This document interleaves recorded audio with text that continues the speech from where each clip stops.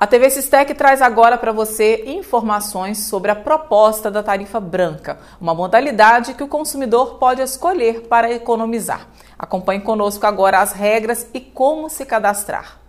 Em tempo de crise, onde todo o orçamento familiar e comercial precisa ser revisto, vale ressaltar que o custo da energia elétrica pesa e muito no nosso bolso.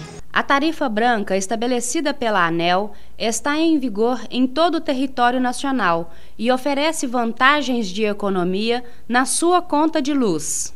Veja informações e dicas de economia nesta modalidade. Mauro, explica para gente, por favor, o que é a tarifa branca.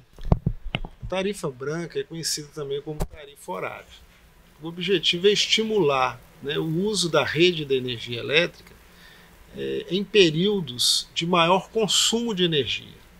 Então, o objetivo é esse. Então, com isso, o que ela difere da tarifa hoje, que a gente chama de tarifa convencional?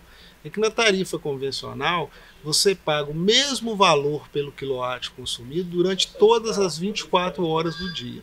Na tarifa branca, você tem a possibilidade de definir os horários que você vai consumir energia que no horário a partir da, das 21 horas, ou 9 horas da noite, até as 16 horas ou 4 horas da tarde do outro dia, inclusive todo final de semana e todo feriado, o preço dela é 20% mais barato que a tarifa convencional. Então, se a pessoa pode deixar de utilizar né, nos horários de maior consumo, no horário de pico, e utilizar só no horário que o preço é mais barato, ela vai conseguir uma economia bem relativa. E qual é o consumidor, Mauro, que se enquadra nessa modalidade? Hoje quem pode se enquadrar é as pessoas que estão solicitando ligação nova, né, atendido é, por baixa tensão, e, e, consumidores, né, já clientes da CEMIG que consome é, até é, acima de 250 kWh por mês. Você tem uma estimativa de qual é a média padrão de economia é, das pessoas que se enquadram nessa modalidade? Olha, é, na modalidade da tarifa branca, é, o máximo que a pessoa vai conseguir economizar, se ela cumprir os horários, é 20% relativo à tarifa atual. Né?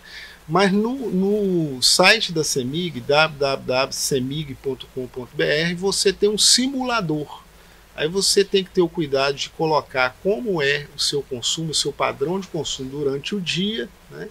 e você vai ter lá uma simulação de como ficaria o valor né, da sua fatura de energia no final do mês se você adotar essa nova modalidade. Então, Daniela, como que os usuários podem fazer o cadastramento? É bem simples, Fernanda.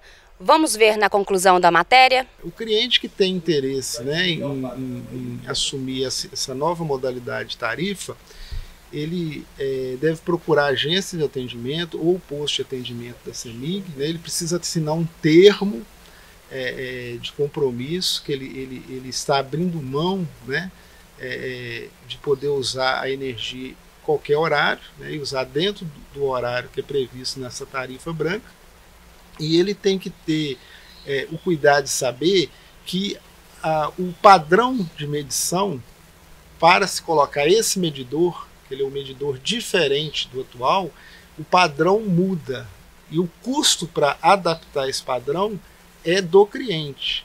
Então ele tem que ter cuidado de olhar isso também, né, ver o mercado, o custo que vai ficar para ele adaptar o padrão dele. Né para ele poder solicitar na agência de atendimento a troca de tarifa.